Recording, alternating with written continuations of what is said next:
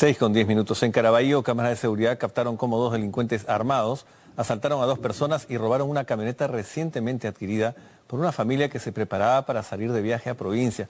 El vehículo hurtado está valorizado en 29 mil dólares. 6 de la mañana en Caraballo.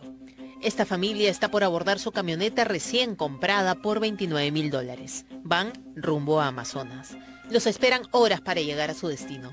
Lamentablemente, este viaje no se podrá realizar, al menos no en esta camioneta que vemos en imágenes, pues dos ladrones aparecen y amenazan a la familia con un arma. Los obligan a meterse a su casa y se robaron la camioneta con todo y maletas. Había un mueble de escritorio, librero nuevo, había celulares nuevos, había todo ropa nueva, zapatillas nuevas, porque como se van a provincia quisieron aprovechar la camioneta, señorita. Entonces se ha llevado toda la documentación de la camioneta, en sí todo. y aparecieron las Yo he salido solamente para despedir a mi compadre y ver que ya se iba, ¿no? Cuando en eso han aparecido estos dos hombres, uno por el lado izquierdo, otro por el lado derecho, han aparecido con revólver lo quitaron a mi sobrino que tiene 14 años, le quitaron el celular, él se quedó menos mal sereno, tranquilo, yo sí, realmente me ataqué de los nervios y lo único que hice cuando vi el arma, porque no habló, solo me hizo así ver, el, revólver o el arma de lo que tenía, y entonces yo de los nervios he corrido hacia adentro.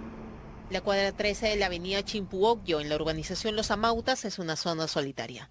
Lamentablemente el vehículo no estaba asegurado. Vienen hacia nosotros, pues. Mi comadre gritó, se tocó de nervios. Cuando levantan la cabeza veo también que vienen hacia mí, ¿no? Lo único que hice es levantar la mano, nomás, levantar la mano. Y en eso me dijo, suba al carro, suba al carro, suba al carro. Y yo levanté la mano y me dice, ya, no puse resistencia, ¿no? Entonces el otro pata, la llave, la llave, entrégame la llave, la llave. Y yo levanté la mano así nada más y cogieron la llave, mi celular, se subían al carro y se fueron. Y nosotros con los nervios nos metimos para adentro. La familia pidió celeridad a la división de vehículos robados de la policía.